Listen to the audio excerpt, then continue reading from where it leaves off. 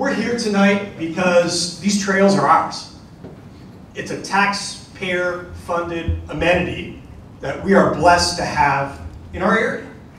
And I just want all of you to know before I turn things over and we kind of keep having this conversation and listening to you all here this evening, is that this is an important topic. Our safety is the number one priority for all of us here in this district. Hi, uh, my name is Randy Thomas, and I am not a bicyclist, but I'm a walker on these trails.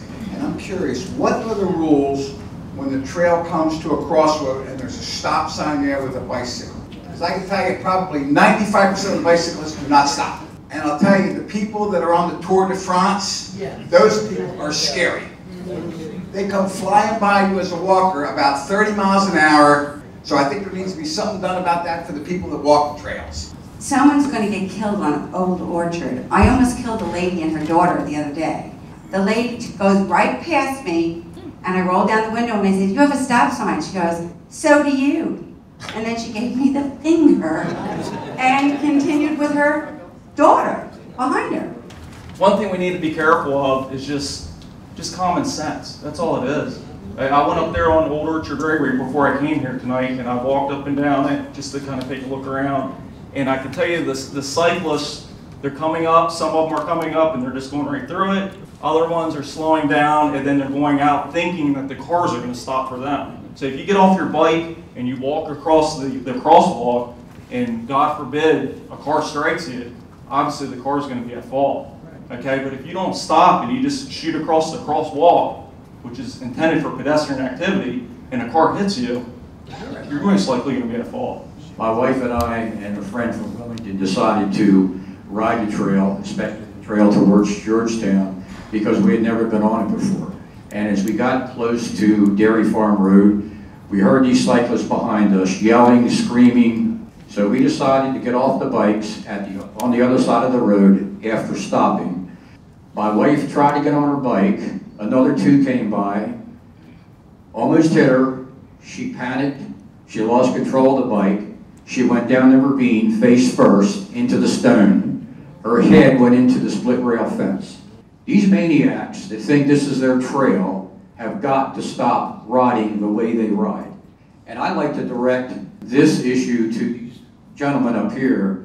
These people don't pay any attention to stop signs, trail etiquette, or anything else. They have one thing in mind to go from point A to point B as fast as they can, and if anybody gets in their way, so be it.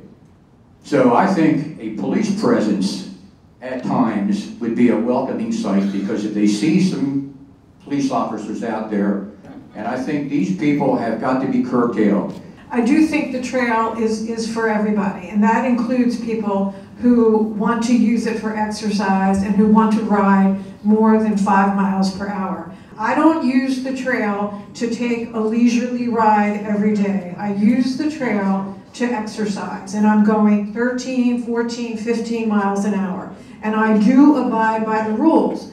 But what I see, I see people walking and riding three abreast. I see people with their dogs. I see people with their strollers. I see little kids who don't know how to ride bikes. I see adults who haven't been on a bike in 20 years. And they don't know the rules. I don't want to hit them, nor do I want to fall on the ground and hurt myself. So I, I really think there's a bigger issue here. What is the purpose of the trail and who is the trail for?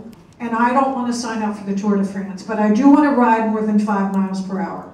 Since we have a lot of people in our group out on the road and on the trail, this is what we're hearing um, from our friends and neighbors in the city of Lewes. These people on bicycles deserve to be hit.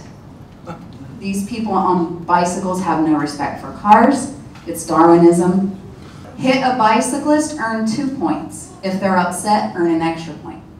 So the animosity between people on foot and people on bicycles and people in cars really needs to stop. It's a beautiful town. We love it here. Together we can work. Together we can share the road. Together we can share the trail and truly make this community retain its unique cultural aspect, which is really united. You know, we have beautiful nature, we can enjoy it together. So please, you know, we're all just trying to get home safely. Thank you.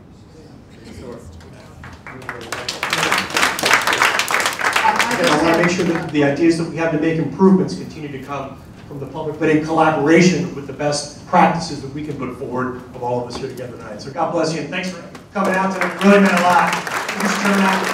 We're going to stick around for a while.